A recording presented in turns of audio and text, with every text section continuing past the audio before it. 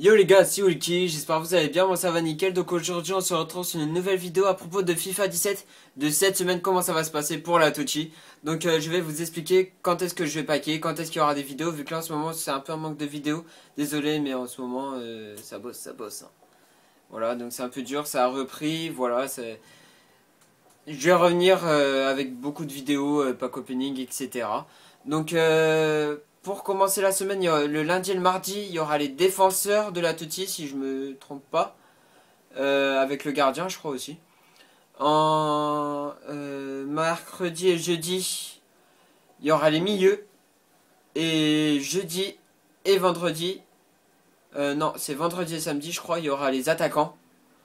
Et après, le dimanche et lundi, il y aura les tous les les toute l'équipe en fait.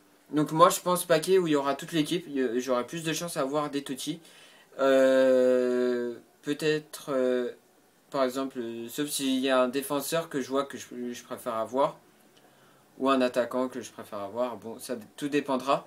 Mais par exemple quand vous voyez, euh, si par exemple ils mettent 3 attaquants et 4 défenseurs, on aura plus de chance pour les défenseurs quoi.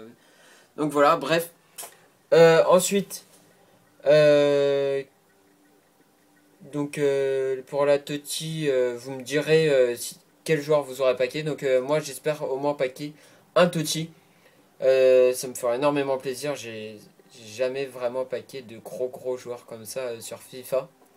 Juste sur PES, sur PES ouais, j'ai déjà paqué Eden Hazard en vidéo.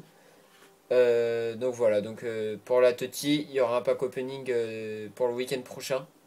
Euh, là, il y a euh, une petite parenthèse, il y a le vlog euh, de Lyon que je suis en train de préparer. il est bientôt fini, mais c'est long. Hein. Vu que j'essaie de faire des bonnes choses. Mais bon, c'est jamais si simple. Donc voilà. Donc pour la Toti, c'est demain. On verra un petit peu ce qui l'équipe qui sera.